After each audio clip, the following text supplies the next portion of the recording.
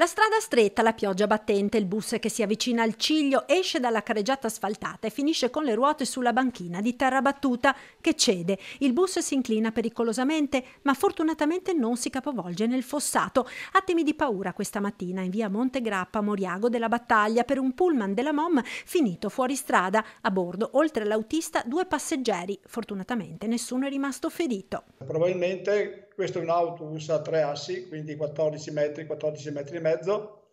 L'autista probabilmente ha messo la ruota destra sul ciglio della strada, in quel momento pioveva e quindi non ha tenuto il ciglio, si è leggermente appoggiato sulla destra. Per fortuna non è successo niente, l'autobus non ha avuto conseguenze e soprattutto non hanno avuto conseguenze né l'autista né i passeggeri. Certo che quella strada, eh, basta mettere un attimo la ruota destra nel ciglio della strada e l'autobus non, non, non, può rimanere in carreggiata. Sul posto sono subito intervenuti i vigili del fuoco arrivati da Conegliano e Treviso con l'autogru. Il mezzo è stato messo in sicurezza e poi recuperato. Nel frattempo un altro bus della MOM ha provveduto a caricare autista e passeggeri. Certo che dopo quanto accaduto a Mestre l'attenzione sulla sicurezza dei bus è massima anche alla MOM. Stiamo anche noi alzando il livello di sicurezza degli autobus, stiamo facendo un piano di rinnovo completo del parco mezzi. In tre anni dovremo portare il nostro parco mezzi a un'anzianità di otto anni, quindi con investimenti importanti.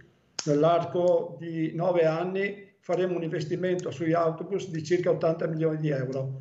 Questo proprio per mettere in sicurezza eh, l'utenza e i nostri artisti che guidano l'autobus.